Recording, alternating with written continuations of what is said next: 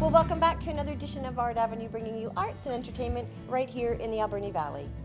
The current art exhibit running at the Rollin Art Centre is Silk and Stitch 2, a collection of nine local artists that do a bit of silk fusion. Now this, this particular exhibit runs until August 24th, so mark your calendar because you won't want to miss out on this amazing collection of silk fusion.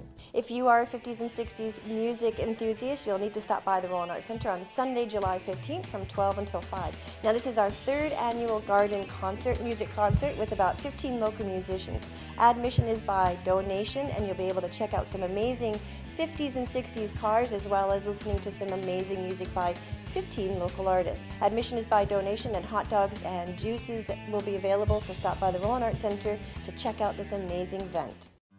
The Rollin Art Centre is having a Clean Out Your Sewing Room fundraiser. You can rent a table to sell all your odds and sods from your sewing and craft room, and that takes place on Saturday, September 15th. Now, I know it's quite a ways away, but we need to know from you if you would like to rent a table. Now, deadline to rent a table for this is July 31st, so stop by the Rollin Art Centre or give us a shout for more information.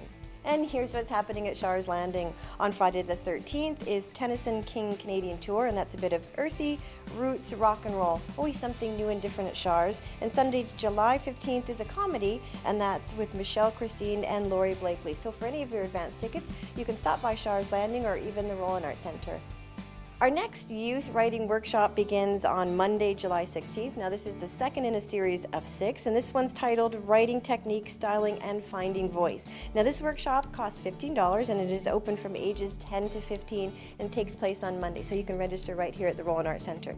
Now, if you're looking for a little bit more creatives for the ages of 7 to 12, the Rollin Art Center has Printing Paradise, and that was our next um, in a series of our children's art programs, and that explores the art of printmaking. So, again, those are for the ages of of 7 to 12. Stop by the Rollin Art Center and register today. Well, that's a wrap for another edition of Art Avenue, but one reminder before I go. Our next Teas on the Terrace is July 19th, and our musical lineup is the Old Time Fiddlers. Now, tickets are only $15, and that gets you an afternoon of wonderful music and strawberry shortcake, so stop by the Rollin Art Center and pick up your tickets today. So until next time, I'm Melissa Martin for Art Avenue.